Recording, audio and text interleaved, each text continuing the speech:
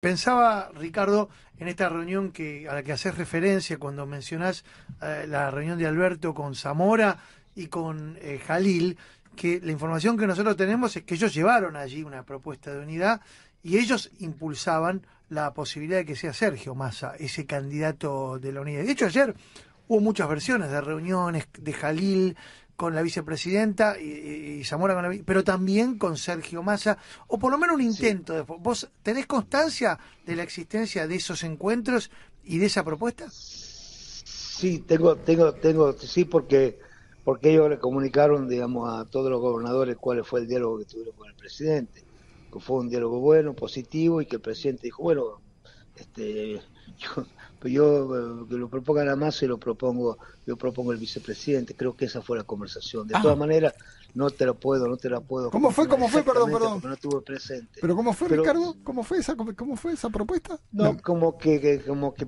se propondría la masa y él propondría el vicepresidente. Yo pongo el vice. Pero,